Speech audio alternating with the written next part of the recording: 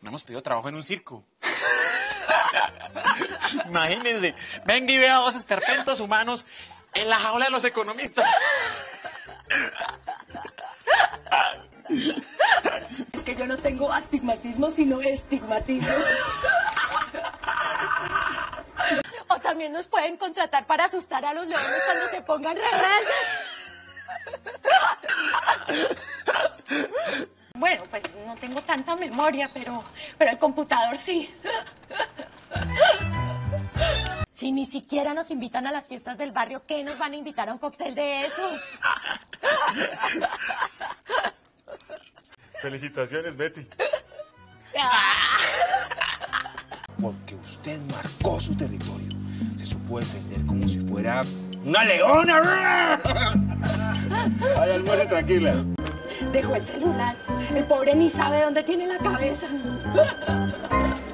A Freddy y a mí nos tocó colarnos.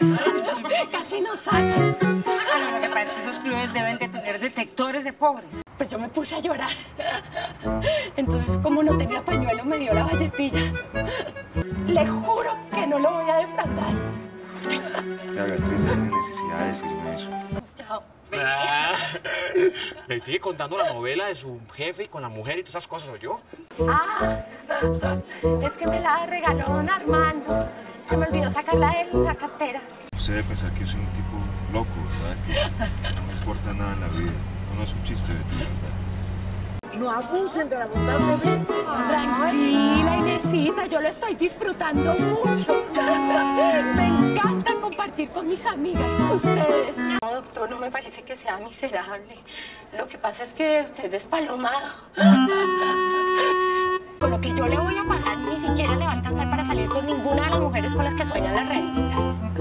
Contarte que me pueda levantar a esta. Te tiene que regalar un autógrafo, ¿no? Claro, con mucho gusto. No, no, no. Oiga, Betty, Pero me dijo lo siguiente, que podía hacer lo que quisiera con la plata y con la empresa. Siempre y cuando manejara bien las cosas, ¿no?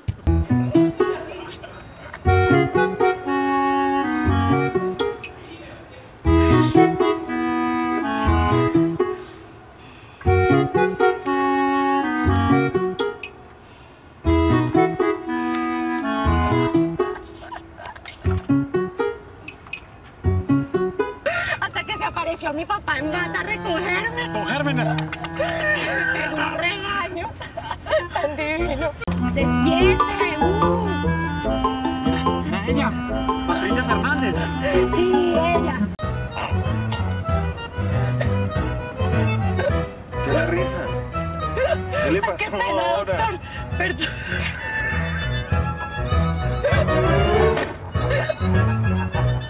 Además, porque también lo vi muy entusiasmado con la doctora Claudia Elena.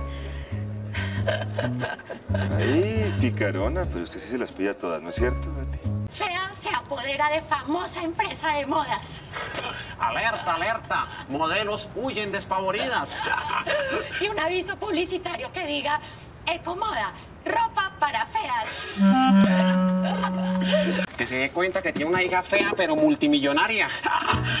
Además, tranquila que la plata le está quitando lo fea. No se preocupe. No es que estén locas, doctor. Lo que pasa es que usted las enloquece.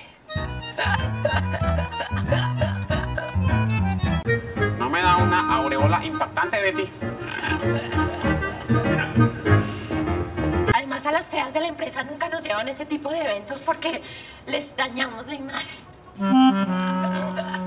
Abajo la está esperando el señor Ah, sí. Nicolás Mora, gerente Sí, general sí. de Terramoda, su novio. Ella la está esperando.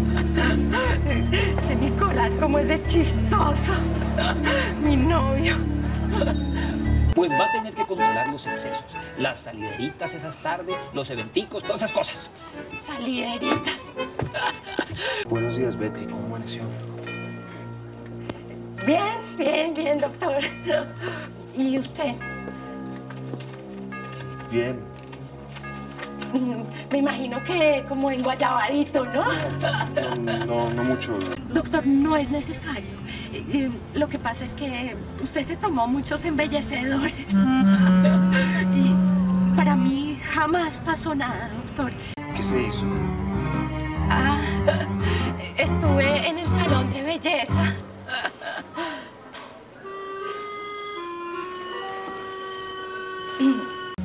Son conscientes de que yo soy mucha mujer para usted, Nicolás. ¿Por qué? Mentiras, es por mortificarlo. Buenos días, Betty. Me toca ir.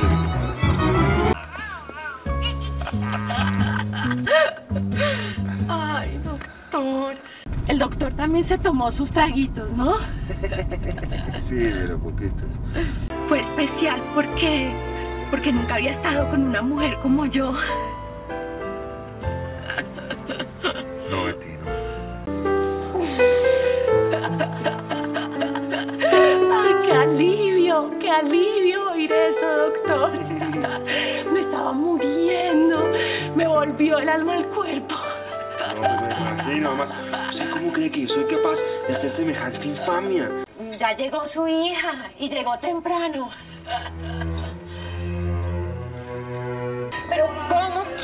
Se lo demuestre si usted se comporta tan evasivo conmigo? ¿Cómo así, Betty? ¿Qué es lo que está pasando entre los dos? Que nos gustamos mucho. Que usted me coquetea y yo me siento halagada. En cambio hay mujeres que somos feas toda la vida. Hay mujeres a las que les encanta ser feas toda la vida. El cielo se nublaría y se oscurecería. Ese sería mi paisaje lleno de truenos y relámpagos.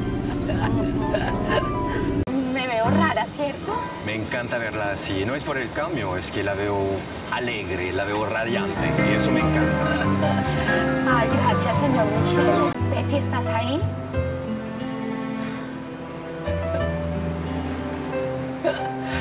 Hola, Pues tenía que cambiar, así fuera solamente de look. Bueno, por algo se tiene que empezar. Ya pudo olvidarse de los risitos de la peliteñida. No, Betty, mire. que necesito un anticipo sobre ese aumento ya mismo.